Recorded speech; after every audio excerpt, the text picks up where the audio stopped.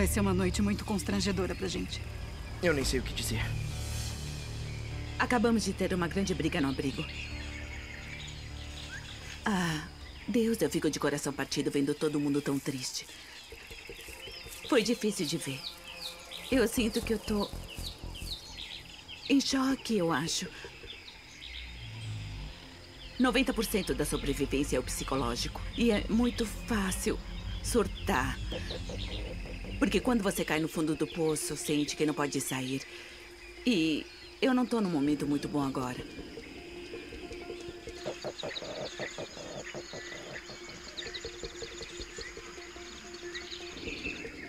Eu. Meu coração não tá aqui. Eu não tô. Vocês estão bem? O que está acontecendo?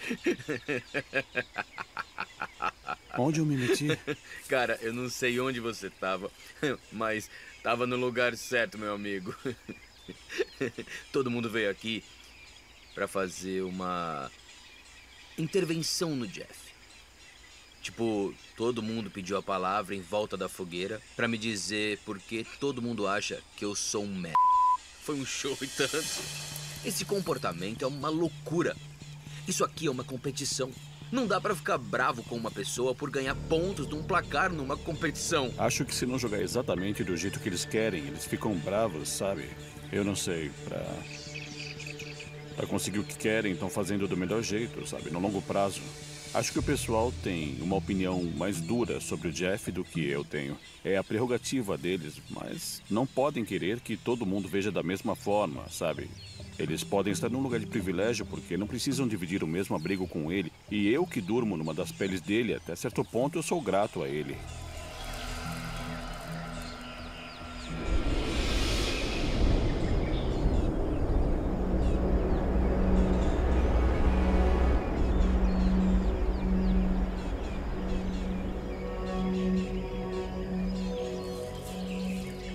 Minha cabeça tá no Maine agora.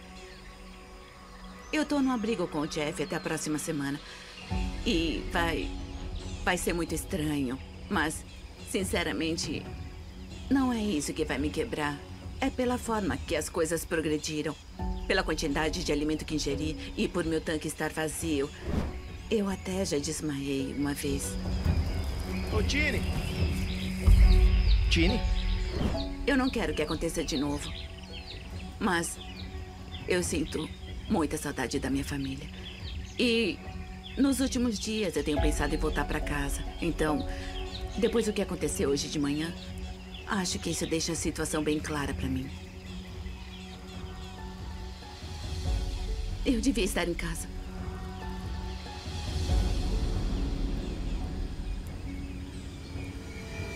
O que está acontecendo? Desculpa interromper. Não, não, chega aí. Mas eu não quero mais participar. Eu vou para casa. Que chato isso. Você anda meio descontente ultimamente. Mas foi um prazer ter você por perto. Eu sinto mesmo. Legal. É ótimo ver Obrigado. você em ação, Gary. A maioria das pessoas só entende o quanto esse desafio afeta o psicológico quando vive a experiência. Temos que entender onde a mente deve estar. Às vezes só queremos ir embora, sabe? Só ir embora. A gente se vê depois, Tini. Se cuida, Tini. Pode deixar.